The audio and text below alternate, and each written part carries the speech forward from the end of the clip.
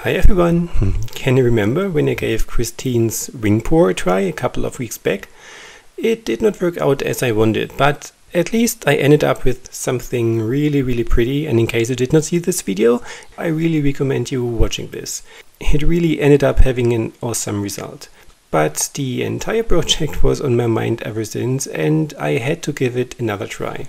Thanks to the recommendation of JoPaddy, and I will link her channel here as well, and she gave me a tip what I can do to get this effect that I want to achieve a bit easier and a bit more controlled. It is not that crafty after all, it's basically just cups glued into each other and I used three cups of three different sizes here as I had three colors and I'm really grateful for her tip on this one. I did two attempts this time. The first one was just experiment if this works after all. And the second one was the really successful one. So I did mix my paints up as I usually do. And I've told this a hundred times now. It is just my acrylic binder, it is the paint and it is water. There is no silicone in there because I do not want to have any cells at all. And it has the consistency of honey, so average.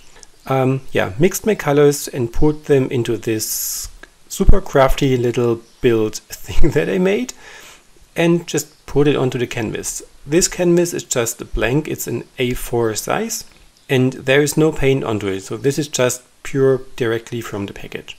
It looked pretty amazing in the beginning, so it looked as if there was this wing happening and I was really excited about how easy it was. I just had to pour the paint out. There was nothing more that I had to do. Of course, I tilted the canvas from the beginning to allow the paint to flow over the canvas.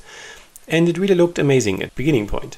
Then when all the paint was poured, I had to stretch it around to get the entire canvas covered. And then it did not really turn out as I wanted.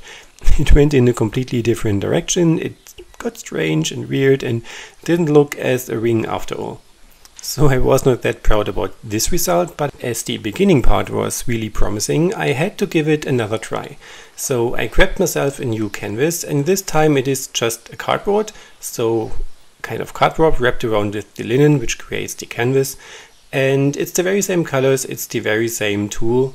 So you can see it's the same tool, but it's covered in paint now. And made the very same approach. So I put the black into the black canister, I put the gold into the second one and the white into the last one and put it over the canvas. Again, tilted of course. And this time it went perfectly. as you can see, I was really, really happy about this result. And as you have seen as well, I put a layer of white underneath just to make it easier for the paint to flow over the canvas. I think it was the reason why the first result did not end up as I wanted it, because the paint wasn't able to flow over the canvas as it should have been perhaps. So it grabbed to the canvas and rolled under the paint on top of it, if you know what I mean. So this time I wanted to have the paint flow over the canvas a bit more easily without any grabbing to the canvas itself. And I think that made the job pretty well. So it really went perfectly. I could stretch it. I would have loved to stop it before it goes over the edges though, but it, it happened. So it, it's okay for me. It really ended up pretty. And it went super quickly, so it was just pouring the paint in the cup and pouring it over there, stretching the paints. It was about, I don't know, three, four minutes. You have it in real time here, so you can see how quickly it went. And once it was dry, it really looked even more amazing than it was in the wet phase. The gold dried beautifully and it has some kind of holographic look on this one when you go up close. So I tried to catch it on the photos and in the video that I filmed outside in the sunlight to give it the exact shimmer that you will see in real life as well. And I think it kind of catched it. It has an even more holographic and 3D effect in real life though, but I think you will get the point when you see it. I am really happy about the end result and I'm pretty sure I'm using this technique more often in the future as well. So I do have my little tool now which allows me to create these wings and probably I can try scaling it up as I so often do it feels. But we will see. So I guess this basically sums up everything that I did for this project. I just wanted to show you my result and that I'm super happy that I finally managed to do the wing pour. I'm super glad that it turned out that pretty. And Christine, of course, I would love to hear your thoughts about it. What do you think about my result? Again, thank you and shout out to JoPaddy for this super trick and tip for the cups to pour it with.